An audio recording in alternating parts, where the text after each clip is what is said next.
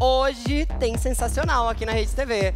Dani Albuquerque vai conversar com Cristiana Oliveira, com Oscar Schmidt. Já viu que o programa tá muito chique, né? E como Dani, Dani Albuquerque é muito chique, ela vai passar aqui pelo TV Fama para contar pra gente como é que ela faz para dar mesada para as filhas. E Dani, meu pai, era um muquirana quando me dava mesada. Às vezes ela fingia que passava dois meses e não me dava. Quero saber quanto é a mesada delas. Me conta aí. Dani Albuquerque marcou presença na missa de ação de graças em São Paulo.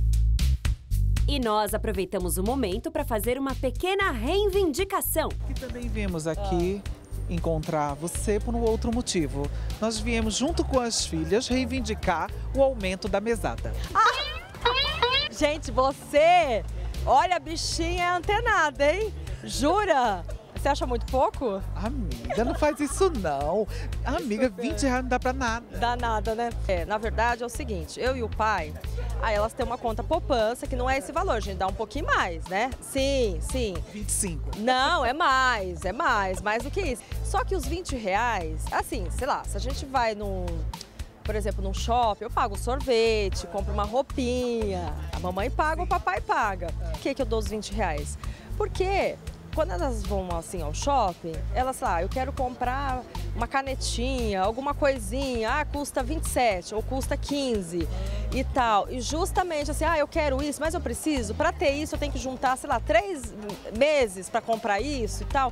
Justamente para elas terem uma educação financeira e naquela coisa de ter o pé no chão. Porque você imagina, se eu dou 100 conto, elas não vão dar valor. E é tão bom elas sonharem, assim, delas chegar, puxa, eu quero muito isso. E você juntar, você não juntava? A gente às vezes juntava, juntava, é. juntava. Dani, para de ser pão dura. Aumenta só mais um pouquinho. 5 reais, assim, 25 cada uma? Gente. o dia eu fui com elas no shopping, aí a Alice queria uma coisa de 37 reais. Aí tem 20, né? aí eu falei assim, tá, eu posso te emprestar, depois você paga, né? Não acredito. Te juro por Deus. Eu falei, depois eu vou anotar aqui, no dia que eu emprestei, depois você paga. Sabe o que ela falou? Ai, querida, não quero ficar devendo nada pra ninguém, não. Maravilhosa! Ela é, ela, ela é das minhas. Rachei o bico, eu falei, olha... Tinha Antonella.